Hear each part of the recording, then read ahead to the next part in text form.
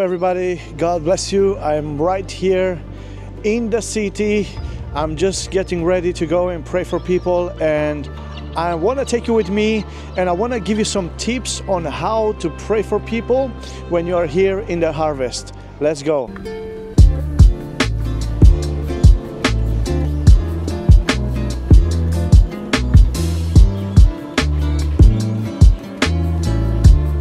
Came a little bit inside into this mall here because it's so cold outside. And so the first tip that I want to share with you guys is if it's raining outside especially you know the way that it's raining in England always look for a place indoors. Look somewhere like in this mall where you can just come in and just sit around and you can just simply pray for people than sitting outdoors in cold because people will not be outside when it's cold Second tip that I want to share with you guys is always pray in tongues. As you are walking around, always pray in tongues because praying in tongues, it actually helps you and it actually uh, makes you more sharp in the realm of the spirit.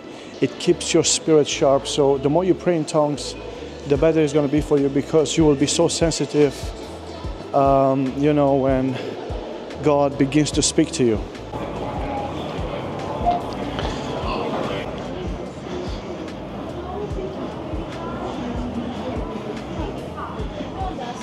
What people don't understand is that you have to walk, you know, just looking around and just walking. This takes a lot of time. It's not easy many times because, you know, there's a lot of walk and you, you know, as you're walking, just praying sometimes I'm walking, you know, just one day, entire day just to find somebody that I can minister to. You know, what you guys see many times on the screen, it's a picture, it's an amazing testimony, but you, you know, many of you don't know what it takes in order to be used by God.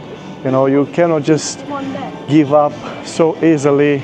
You cannot just, you know, stop. You go out for one hour praying for people and that's it. You didn't find nobody. No, you keep on pressing. You keep on pressing until you find somebody.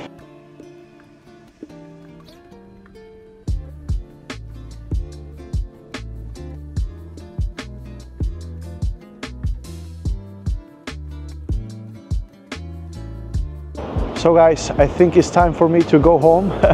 Today has been a very long day for me and uh, you know, so many things have happened. A lot of rejections, many people didn't want prayer. I could only pray for a couple of people. Some people, they didn't want to be on a camera.